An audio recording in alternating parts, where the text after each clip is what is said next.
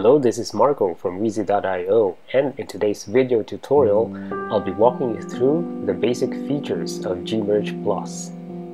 This is an add-on that helps you create personalized documents as well as send bulk emails based off of Google Docs or Google Sheets template. Make sure that Gmerge Plus has been successfully installed as an add-on by heading over to the G Suite Marketplace and search for Gmerge Plus, then click on Install. Log in by selecting the correct Gmail or G Suite account and grant the necessary permissions for the add-on to be properly installed. Perfect, so we're now ready to start the add-on on a blank spreadsheet. Head over to the add-ons menu, look for Gmerge Plus, then click on Start. A welcome screen would open and in this case we'll be using a demo sample so we have a set of data to work with. Gmerge Plus has both document and mail merge features.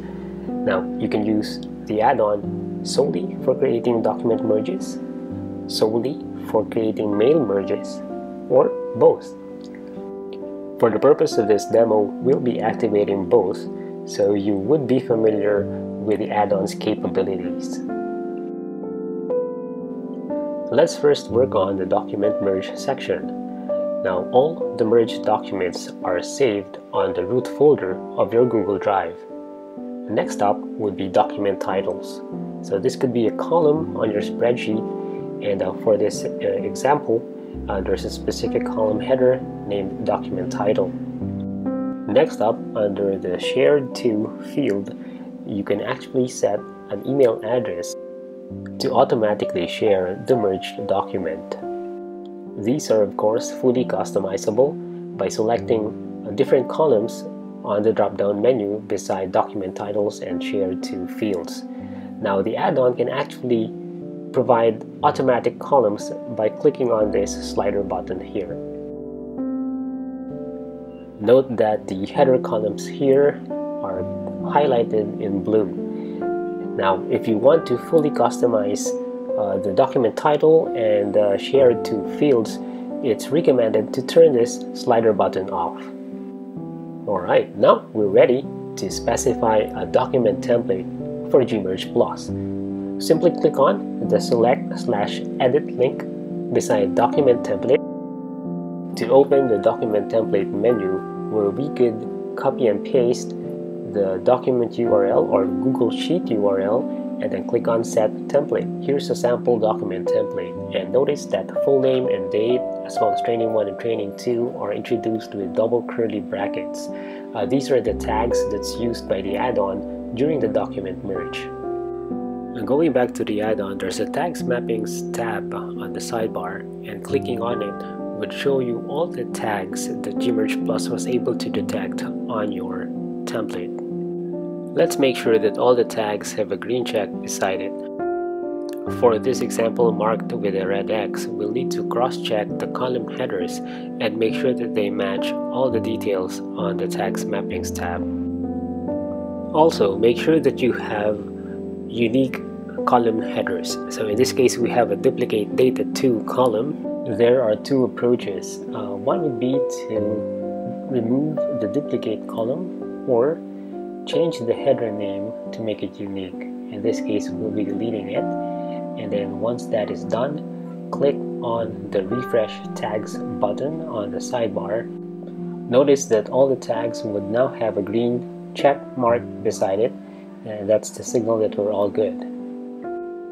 That takes care of the document merge section. Now let's scroll down and customize the mail merge section you can set an email template here and uh, set a different name under email sender for email subject uh, you, and the recipients you specify columns on your spreadsheet where the add-on can get these information so in this case um, we have the email subject column here as well as the shared to and recipient email addresses We're now ready to set an email template. Just click on select slash create so that we could select from a list or create a brand new template. For the purpose of this demo, we'll be creating one from scratch. So um, click on create new template. We'll set GM plus demo as the name of our template. We can now set the body of the template. Now there's a drop down menu uh, named available tags. It's important that you select uh, the tags from this drop down menu to make sure that the add-on copies over the correct information during the mail merge. Click on Save and Select and we're all set. Going back to the add-on, we are now going to specify uh, a sender name. So in this case, we'll be sending it to my name. And then don't forget to press the enter key on your keyboard to save the information. Since we're using both document and mail merge features of Gmerge Plus, um, we can actually accommodate sending the merged document as a PDF attachment. You can do that by clicking on this checkbox.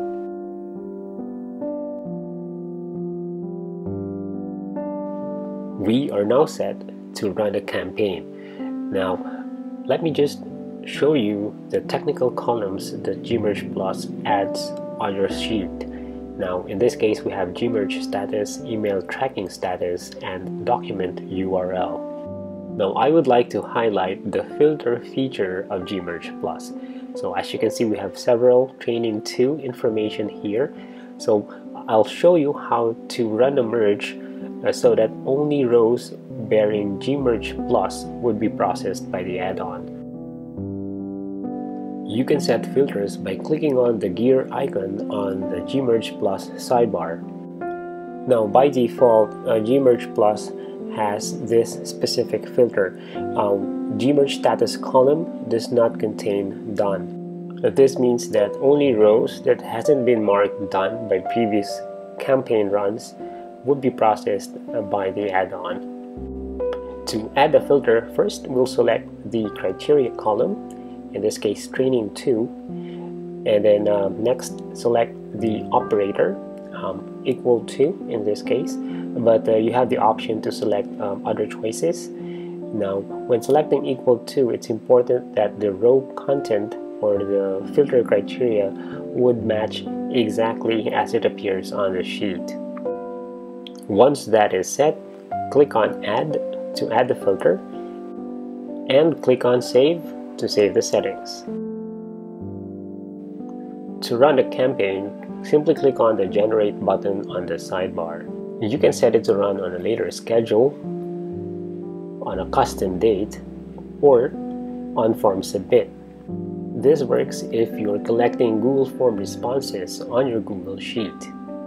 For the purpose of this demo, we'll click on Now so that we can generate and run a campaign. At the end of the process, you'll get a summary report and um, in this case, we will see that one row was done since um, there's only one row that met the filter that we previously set.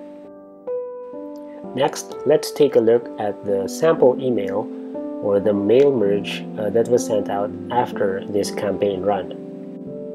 And here it is. So it promptly shows uh, the sender name that we've set on the add-on as well as the body of the template that we've created and then uh, you can also see the PDF uh, file that's attached on this document. And that concludes our brief walkthrough of Gmerge Plus. Thank you for joining me today. Please stay tuned for future video tutorials for Gmerge Plus. Until next time, goodbye.